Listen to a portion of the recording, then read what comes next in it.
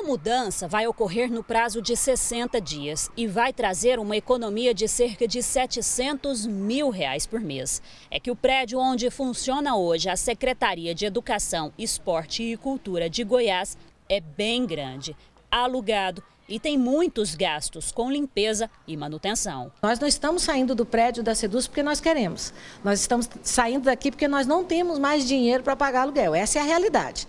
E nós temos que organizar a casa. A Seduz agora vai funcionar na sede do Instituto de Educação de Goiás, o IEG. Para 2019 já estão matriculados 202 alunos distribuídos em cinco séries, entre ensino fundamental e médio em tempo integral. Os alunos reclamam reclamam da mudança, já que terão que ser remanejados para outras escolas estaduais. Temos um ensino de qualidade, professores capacitados e a nossa instituição é, tem de tudo para ter um bom ensinamento e estão querendo tirar ela da gente. A gente vai ter que se acostumar com tudo. É, vai ser tudo diferente. Nenhuma escola que eu estudei tem toda essa recepção e toda essa ajuda. As turmas de oitavo e nono ano do ensino fundamental somam 39 alunos que vão ter a opção de estudar no Colégio Estadual Dom Abel, no setor leste universitário, ou no Colégio de Aplicação do IEG, que funciona bem ao lado do Instituto.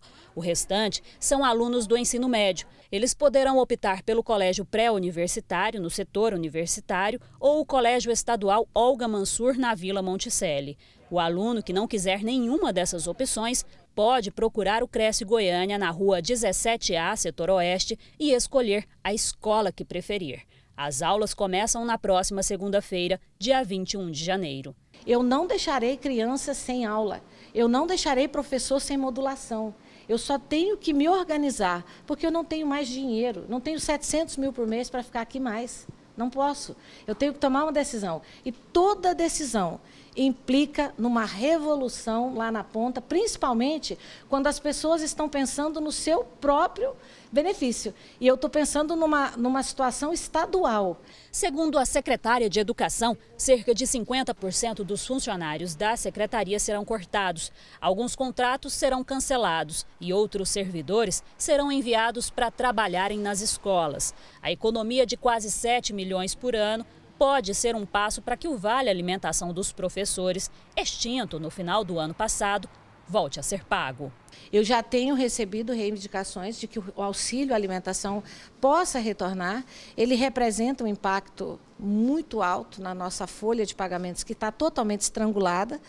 E aí eu tenho que fazer economia. Toda vez que eu pedir alguma coisa para a educação, o governo vai me perguntar de onde você vai tirar o dinheiro. E eu tenho que dizer de onde eu vou tirar.